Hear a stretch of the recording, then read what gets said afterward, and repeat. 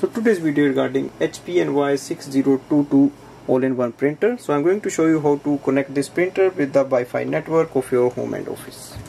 And the first step is to switch on the printer. So press the power button which is at the back side of the printer and as you can see the purple light here that means the printer is in the setup mode and then it is ready to connect and if you want to know how to uh, go to the setup mode you can watch other videos for that now the next step is to download the HP smart app from the app store and you can download. So once you download it open the HP smart app.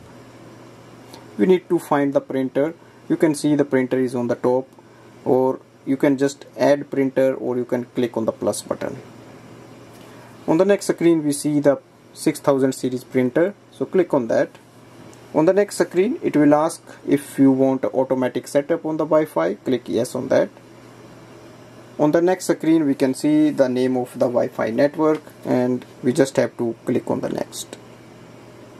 So once the Wi-Fi light is stable that means your printer is connected to the Wi-Fi but still we have to set up complete all the setup. On the next screen it says setup is complete click done button.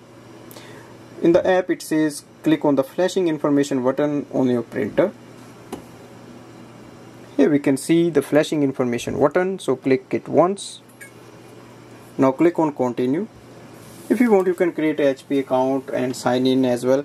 Or if you want you can just skip this account activation and warranty.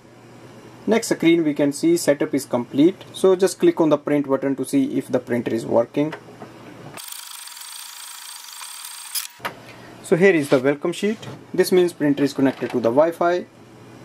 As you can see the print is done. So click continue if you want you can send a link to the other devices or you can skip this step.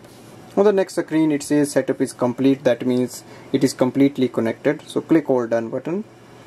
So on the next screen the printer is added here. It displays amount of ink left also it also give all the details which you need for wireless printing scanning. So uh, all the tabs are here. So you just have to click and follow those things. So overall I can say it's easy to connect this printer to the Wi-Fi network of your home and office. Thanks for watching